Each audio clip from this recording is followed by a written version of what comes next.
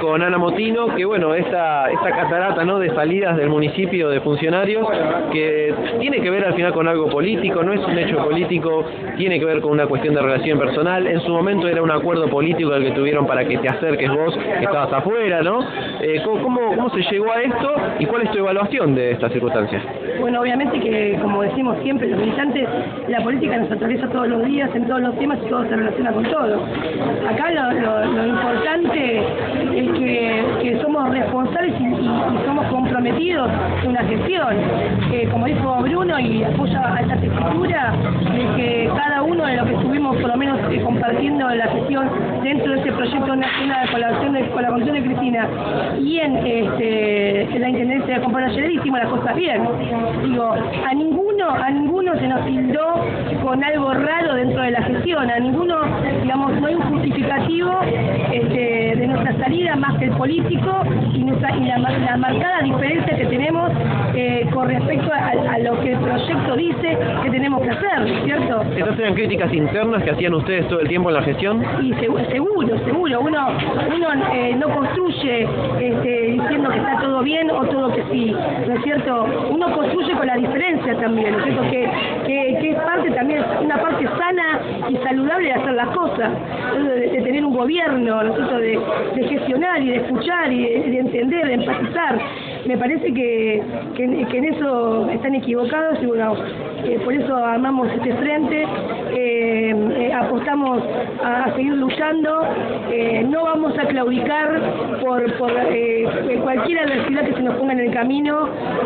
nosotros fuimos sujetos pasivos no solamente de la institución de nuestros cargos, sino también de boicots, también de amenazas, este, que bueno, que, nos llevan a, repensar, sí, que nos llevan a repensar de que no estamos equivocados. ¿Amenazas de, que estamos en el camino correcto. Amenazas de que pasen con la camioneta, intentábamos una reunión de mujeres, por ejemplo, en, la, en el local de prueba donde funciona el, digamos, el local partidario nuestro, y que, que sigan que nos van a romper todo, que nos van a quemar todo, que ya van a ver.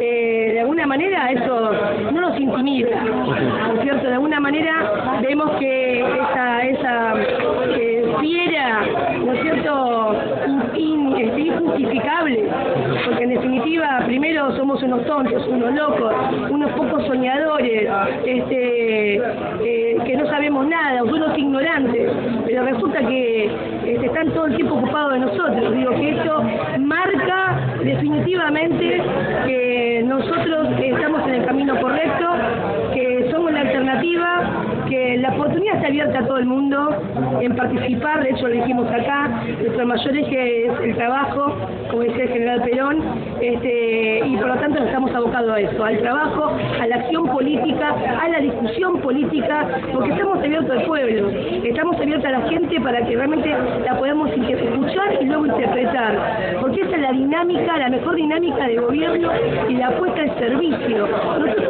estar al servicio de la comunidad. ¿Eso crees que no está pasando hoy en el municipio? Yo creo, que hay muchas falencias de ese tipo, eh, espero equivocarme y espero que mi salida también implique de alguna manera que se reivindiquen los derechos del cual tanto he luchado, que es la comisaría de la mujer y una casa de abrigo de una vez por todas, que tanto necesita nuestra comunidad. Yo creo que de alguna manera hay que atender esas necesidades, hay que escuchar esas necesidades, hay que ser empático con esas necesidades y hay que poner en marcha esa decisión política. Alguna manera hoy esas decisiones políticas con las que ustedes no están de acuerdo, digamos, eh, internamente se fueron también por eso, este, por, por estar apoyando otro candidato que estaba, otro compañero dentro de ese, de ese grupo. ¿Por qué no están esas decisiones políticas y sí están del lado, por ejemplo, de Mauro García? No, no te entendí la pregunta.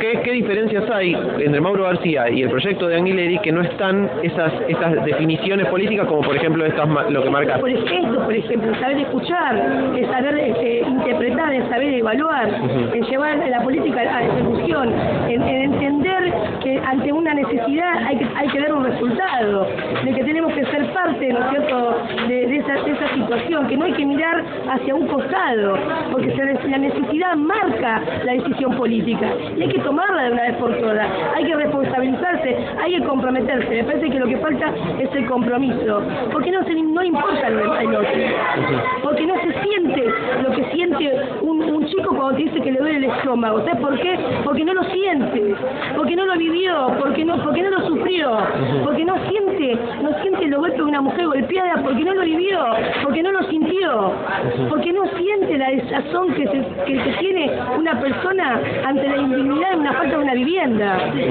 Y todo lo que conlleva, acá hablamos de cuatro ejes, que son educación, cultura, eh, una joven decía, a mí en un momento no podía acceder a la cultura porque había, solamente accedía a aquel que tenía la posibilidad de pagar. Y eso es cierto.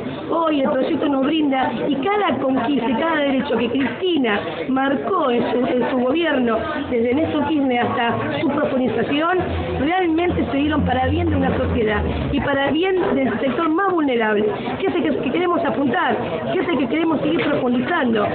No, queremos, no queremos generar una política o un gobierno para el centro de General Rodríguez. Queremos una política para todos y los barrios también existen. ¿Anguileri no representa el proyecto nacional? Mira, yo dije en una entrevista que, que, que, me, que me tomaron justo apenas recibió el decreto del cese de mi cargo, de que agradecía eh, el que me haya honrado el intendente en darme el puesto que me dio eh, por la experiencia que tuve en la gestión. Pero también le retribuí todo lo que podía darle desde mi, sapiencia y desde mi tiempo y de mis ganas y de mi compromiso para que la gestión quede bien parada lugar. No puedo decir nada al respecto, ¿sí? Digo que es un ida y Yo creo que cumplí con ese ida y vuelta. Siento como, como, como siente Bruno por ahí la desilusión, ¿no es cierto? De que porque, sos diferente, realmente tenés que estar fuera del sistema. Porque porque sos diferente, tenés que recibir este tipo de castigos. Digo que así no se solucionan las supuestas diferencias, que así no se solucionan en la práctica, eh, de alguna manera, este, el el diálogo y la comunicación. Tiene que existir el diálogo, la comunicación, el acercamiento, la construcción, porque eso, eso es construcción colectiva, eso es construcción política. Bueno, muchas gracias.